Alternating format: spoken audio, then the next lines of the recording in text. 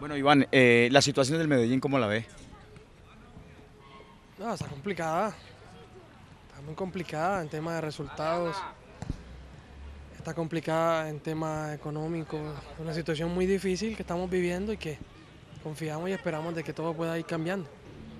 Yo, yo donde he estado siempre he tratado de dar lo mejor de mí, de, de colaborar en todo, no solo en la parte deportiva, en la parte personal.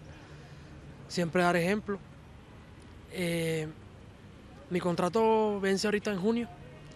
Ah, eso, eso es complicado. decir que de pronto me gustaría o, que- o quedarme o, irme. eh, es relativo. hay que vivir cada día. Lógicamente que tenemos metas, tenemos sueños, anhelos, pero hay que vivir cada día. Eh, yo creo que el día de mañana no sabemos qué va a pasar. Esperemos que Dios vaya poniendo en el camino lo, correcto, lo que viene de Él y que si es de quedarme aquí, pues que sea para la gloria de Él y si es de irme, igualmente, para donde Él me lleve, que, que sustente mi, mi ¿no?